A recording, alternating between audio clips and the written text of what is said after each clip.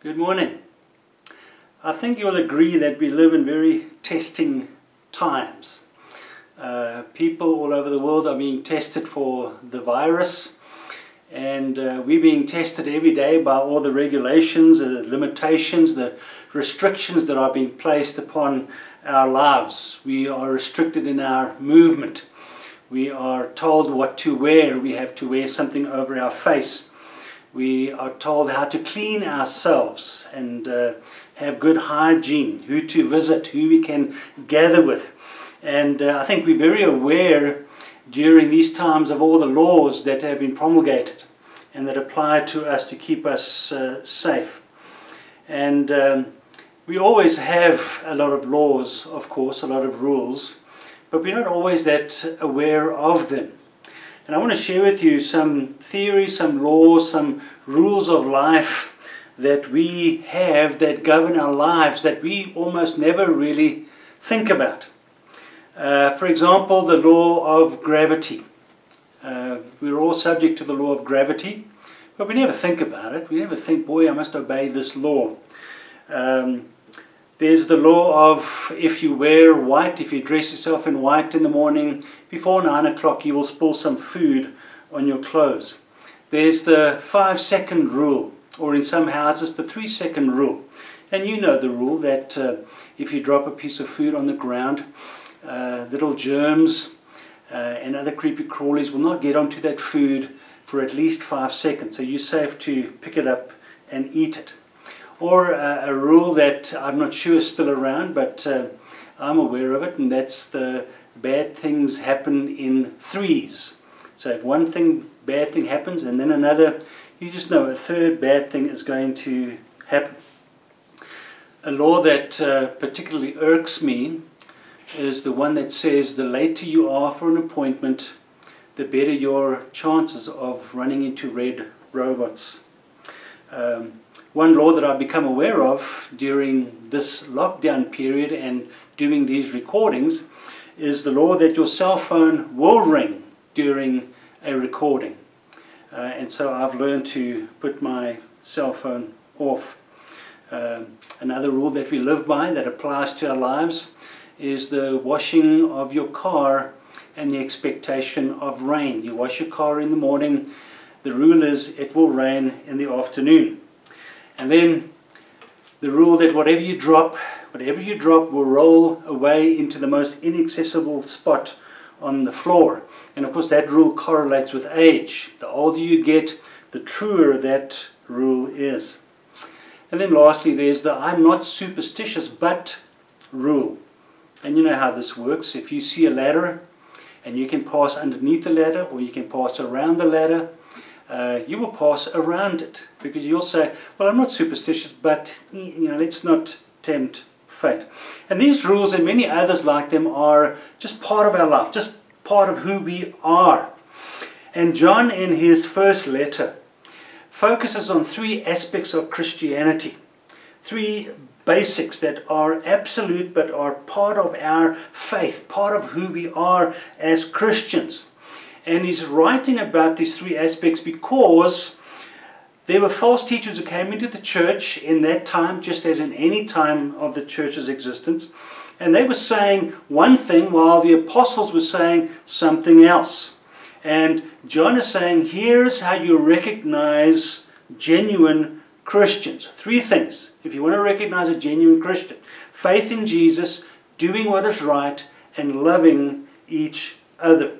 And these are our tests if we want to see who's a, a, genuine Christian. These are our affirmations. If we sometimes wonder about ourselves, we use these to affirm our faith. And so they apply to our lives as Christians. And John says they're absolutely basic to who we are. Let's read uh, about some testing times in 1 John 4, the first six verses.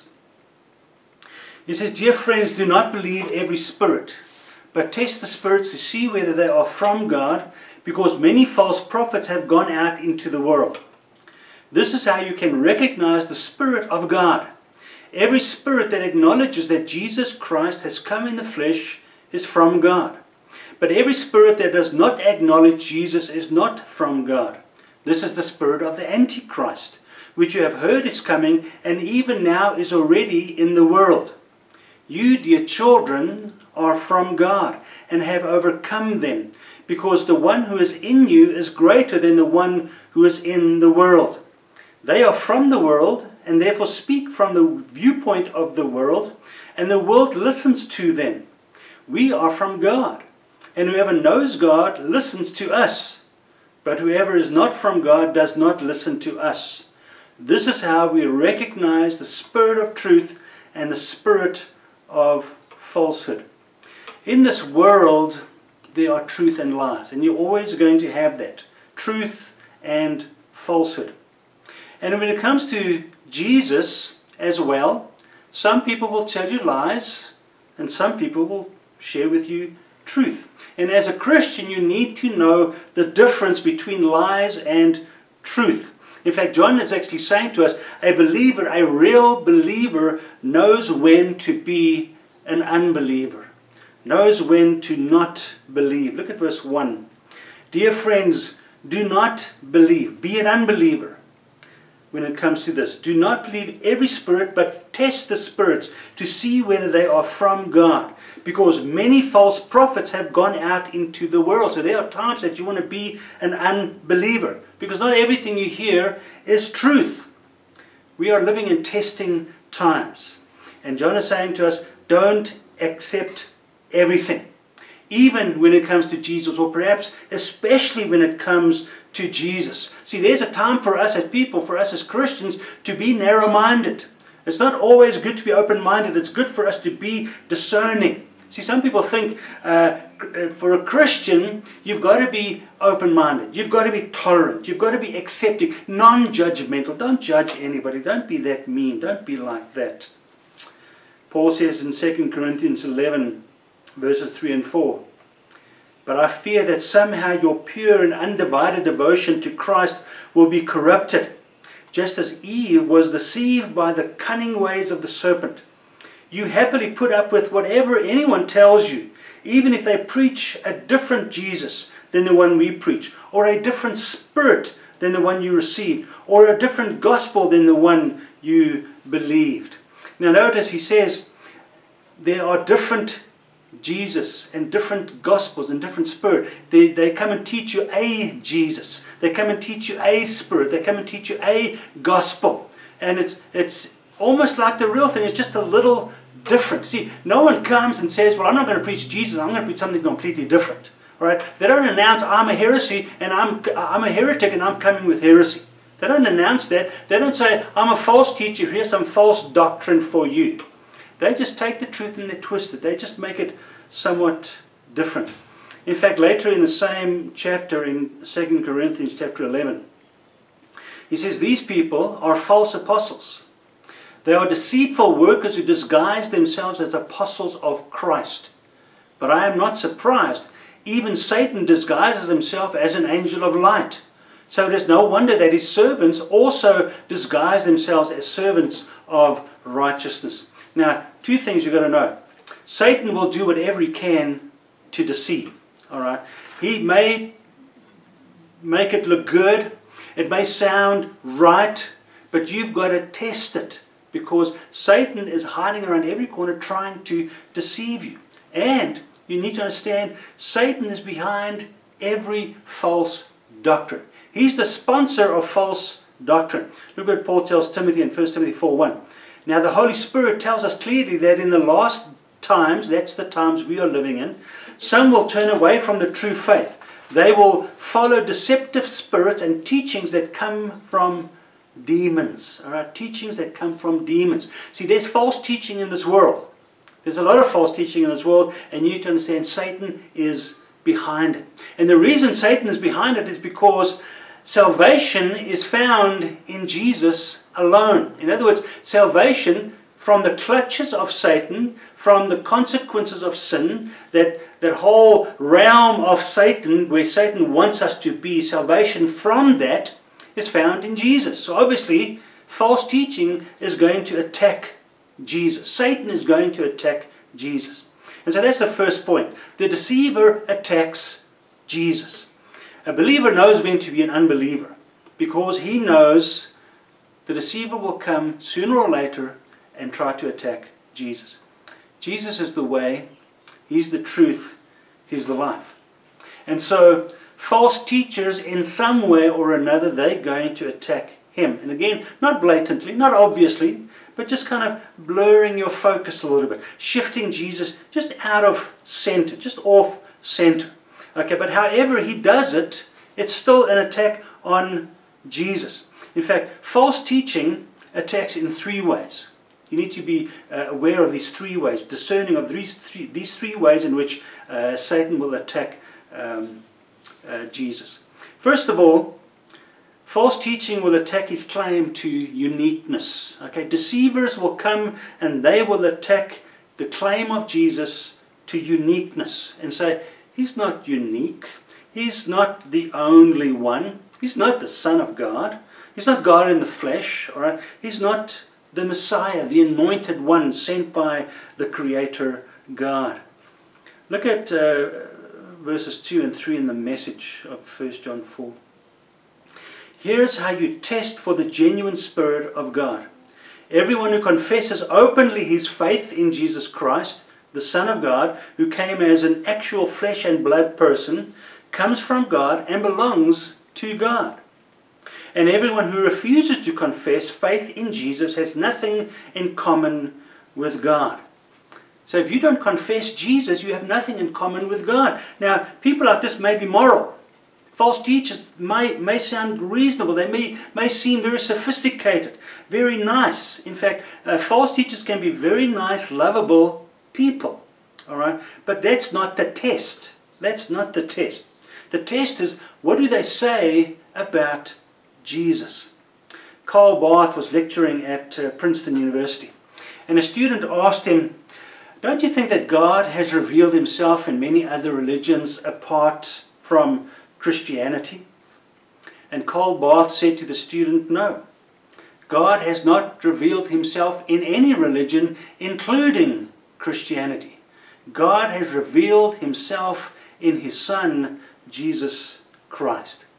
And that's why Jesus is unique. Or as John puts it, he's the one and only. All right? And because he's the one and only, the one and only way to God, they will attack his uniqueness. Secondly, they will attack his offer of righteousness. Not just are they going to attack the supremacy of the Son of God, but also his sufficiency as the only true way to God verses 2 and 3 again of 1 John 4. This is how you can recognize the Spirit of God. Every spirit that acknowledges that Jesus Christ has come in the flesh is from God. But every spirit that does not acknowledge Jesus is not from God. Now, the NIV uses that word acknowledge there. All right. But it's not the, the, the, greatest translation. The Greek word means to confess. It's that word we've heard before, homologeo. All right to say the same thing, to agree, to declare openly, to say, God, I confess your view. I agree with your view. I agree with your truth, with what you say. And you confess Jesus is the only way. You confess Jesus has come in the flesh. All right? And he came in the flesh so that he could die and sacrifice himself so that by God's grace, by that sacrifice, I can be saved and I put my faith in nothing else. We need to understand the message of the cross really is uh, scandalous. It's a scandalous message, you know, because uh, what it says to us is you're dead in your sin. You're dead in your sin. You're dead because of your sin. And you're in a hopeless state. You have no righteousness. You have no righteous deeds. You have no righteous anything to offer God. And so what Satan then does, what the deceiver then does, he comes along and he gives a different gospel that appeals to our human pride because that message of sin, we don't like that very much. All right? We like we are the, the, the, the message where we can actually do something about whatever state we find ourselves in. We like the, the, the fact that we can count on our own righteousness. That, that uh, you know, for us to be made right with, with God, uh, of course, Jesus is great. We have him in the picture, of course. Uh, you can't do without him. Um, but we add that very, very insidious teaching that you can add to his effort with your own effort. You take his sacrifice, you kind of make that your uh, focal point, but then you add to it, and what you're actually doing, you're kind of pushing it off center a bit because you're adding your own effort and focusing on your own effort and saying that own effort is needed. Paul said to Timothy, remember, that's a demonic doctrine. It's a demonic doctrine. It's the doctrine, it's a teaching of demons, of Satan. He's the sponsor of that kind of teaching. That's why Paul is so hard on the Galatians, why he's so um, uses such strong language when he says a person like that, that wants to add anything to, the, to, to Jesus, is accursed. A person like that is accursed. See, we receive the righteousness of Jesus, not our own righteousness at all. We receive the righteousness of Jesus. We receive it by God's grace, and it's through faith in Jesus. In fact, that's what the New Testament is all about. That's the teaching of the New Testament in a nutshell. Uh, let me just share with you one passage. There's so many others that I could have picked. But Romans 3 20 to 23. Therefore, no one will be declared righteous in his sight by observing the law. But now, a righteousness from God, apart from law, has been made known.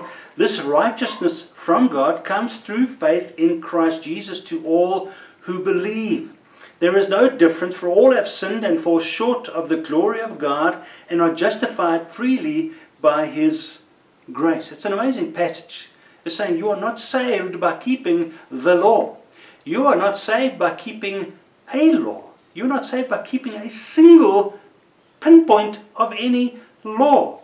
Okay? You don't you're not declared righteous by anything that you do. You are declared righteous by the grace of God through your faith in Jesus. It's given to those who believe in Jesus. His righteousness is given to those who believe.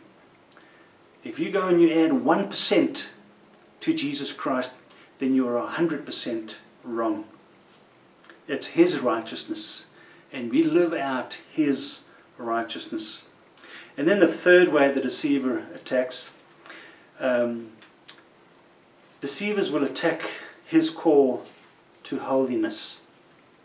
His call to holiness.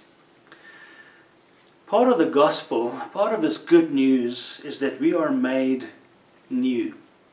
We are given a new life, a new life in which we are enabled, empowered by the Spirit to do right, to live holy lives. And false teachers come and they try and play that down. Look at what John says in verse 5 of our passage today. They are from the world and therefore speak from the viewpoint of the world, and the world listens to them. See, Satan is smart. Okay, Satan's very smart. He knows what people want. See, many people call themselves Christian, and then they want what the world wants. All right? And to have that, to be like everybody else, to still fit in, you've got to water down holiness. In other words, holiness is no longer the absolute that it should be when you think of a holy God, a perfect God. Okay, you have to water that down. Now, how do you do that in such a way that you think you can uh, get away with it? Well, grace. You pervert grace, all right? Uh, and so you start thinking to yourself, well, this grace is wonderful, all right? Because uh, it, it allows, right? It allows certain things. I mean, uh, I'm just going to sin and grace is going to allow it because I'm covered by grace, just like the people that uh, in Rome that Paul wrote to in chapter 6 thought. Um, just, you know, by the by, when you, if you, if you think that grace allows, it does. It allows you to be stronger it grows you more and more holy because that grace, grace is simply God working in us, strengthening us, um, sanctifying us. And so then what you have is some people add to Jesus and they pervert his offer of righteousness. Some people come and take away from Jesus and they pervert and they distort his standard of holiness. Jude 3 and 4 defend the faith that God has entrusted once for all time to his holy people. I say this because some ungodly people have wormed their way into your churches, saying that God's marvelous grace allows us to live immoral lives. They have denied our only Master and Lord Jesus Christ. See, if you dismiss sin, you dismiss Jesus. You dismiss the cross and that sacrifice, that love of God. You water down obedience, and that's the doctrine, the teaching of demons. And Satan can do that and make it look good, make it look appetizing. Satan specializes in calling darkness light. If you look around you in the world, Satan is so good at that. He's good at, at uh, taking evil and making it acceptable. Not only acceptable, he makes it look desirable. People want that. I, I need that in my life because that's going to make my life more complete. And too many churches, too many Christians follow the deceiver into obedience. They, they allow themselves to slip into unholiness.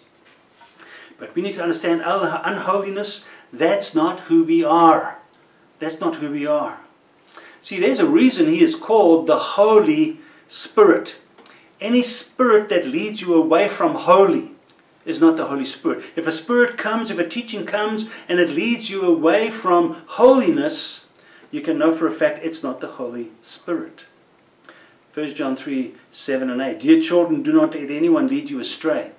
He who does what is right is righteous, just as he is righteous. He who does what is sinful is of the devil. And so again, John is very absolute. You have holiness, doing right, walking in step with the Holy Spirit, or you have doing what is wrong, evil, being of the devil.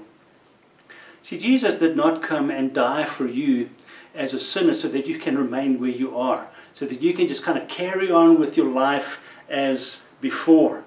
Jesus gave his life for us so that we can escape that and we can live new, abundant, holy lives. Jesus died for us so that the Holy Spirit can shape holiness in us and that we can live holy lives. We can live lives of godliness. In other words, as John puts it, we can live lives of knowing God. In fact, Jesus said that, didn't he? He said, This is eternal life. This is what it's all about knowing God. And so, a receiver of truth, a receiver of truth knows God. See, John was dealing with false teachers who were coming into the church and saying, they know God. They know God. They've got special knowledge of God. And John says, no, no, no. They do not know God. They don't know Him because they don't receive truth. Verse 6 We are from God, and whoever knows God listens to us. He's talking about John the apostles and the apostles. But whoever is not from God does not listen to us. This is how we recognize the spirit of truth and the spirit of falsehood. You know that you've got to know God. A receiver of truth knows God. He makes a real connection with God. He enters into a real intimate relationship with God. That's what know means. It's, it's having an intimacy with the Father in heaven.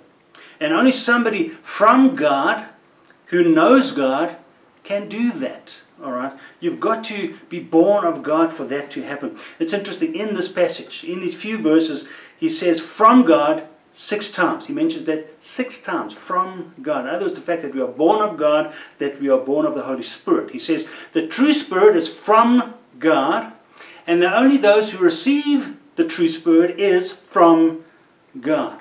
Only someone who is born again can receive truth. Truth is from the Spirit. He's the Spirit of truth. And so he's received by those who are born of the Spirit. 1 Corinthians 2 12 through 14. We have not received the Spirit of the world, but the Spirit who is from God, that we may understand what God has freely given us. The man without the Spirit does not accept the things that come from the Spirit of God. See, real Christians know when they are hearing truth and when they're hearing lies. And the reason they do is because they have God's Spirit of truth indwelling them and they are led by the Holy Spirit. And that's such an important aspect of our lives because we live in testing times. We are being tested by false teaching, false teaching that is all around us. And this false teaching comes and it tests our commitment to Jesus, to Jesus, the one and only. So, whenever anybody speaks about Jesus, test them. Test the speaker. Test their teaching. Don't just think, wow, they're a wonderfully anointed speaker. I love what they say. I love how they say it. I'm just going to accept it. We've got to test speakers. We've got to test their messages. And we've got to test our hearing and say, are we discerning enough? Am I discerning enough? Am I happy just to listen to anything anybody tells me? Or am I committed to the faith once for all delivered to God's holy people? Won't you pray with me? Father, we live in a world in which Satan is pushing his lies. He's pumping his propaganda into all areas of life, Father, even into the church. And I pray for Sonrise. I pray for every Christian in Sonrise that we will know you so deeply, Father, that when the least shadow of falsehood arises, it will offend us. We will know it immediately. Father, help us to be well versed in your word. I pray, Father, in a very practical way for all of us that you will enable us every day, Father. You will inspire us through your Holy Spirit every day to pick up that word of life, that your word, the Bible, and, and make it part of who we are so that we can know Scripture. We can know the Spirit of truth. We can know your will. We can know your way. And we can live it and go forth in such a way, Father, that false teaching will never be able to deceive us and lead us astray. Thank you for the Logos. Thank you for Jesus. Thank you for his Spirit of truth that indwells us. Amen.